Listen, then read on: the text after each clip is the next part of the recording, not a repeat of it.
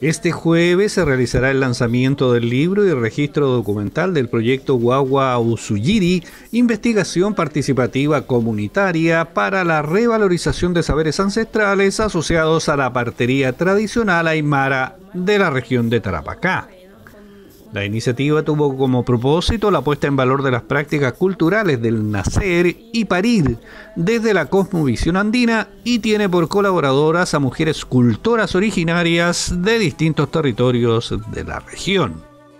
Eh, nuestro proyecto es un fondar del año 2020 financiado por el Ministerio de la Cultura, las Artes y el Patrimonio y que busca justamente visibilizar, poner en valor todos los conocimientos tradicionales del nacimiento ¿no? considerando también que son parte integral de un acervo de conocimientos mucho mayor propio de los pueblos originarios, como esta propuesta del buen vivir, ¿no? Dentro de este Suma Camaña también está el tema del parto. Queremos eh, preservar y resguardar toda esta sabiduría que ha sido manejada por nuestros abuelos y nuestras abuelas, ya que ellos nacieron de esta manera, al igual que mi padre y mi madre, como también eh, yo, ya que nosotros somos cinco hermanas y seis hermanos que nacimos en nuestras comunidades, en diferentes partes del territorio, con partera, con partero.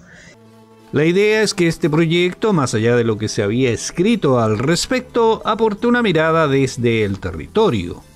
Los saberes de las parteras se van adaptando a distintos contextos. Hoy en día también hay parteras, como una de las colaboradoras del proyecto, que trabaja en la ciudad, ¿no? Atiende, eh, es, parte de un programa institucional de salud y ella dialoga también con estos mundos. Entonces, em, las parteras existen y sus saberes se van a seguir transmitiendo, solo que hoy en día no están las condiciones para ello y por eso es que este proyecto apunta a poder dar un paso inicial eh, de un trabajo mayor para crear un plan de salvaguardia para la partería tradicional aymara de la región. El trabajo desarrollado en otros países respecto de esta materia señala un camino a seguir tras la investigación. Por ejemplo, en Colombia, eh, la partería tradicional afro del Pacífico ya fue reconocida como patrimonio nacional. Nosotros queremos avanzar en esa línea para tener, también definir ciertas líneas de trabajo, un trabajo intersectorial para poder llevar adelante esto. ¿no? Este trabajo eh, que, está, que, se, que ha sido realizado con mujeres del territorio de la quebrada de, de, la quebrada, de la precordillera, de diferentes partes de la región y también con diferentes edades, jóvenes, adultas, adultas mayores.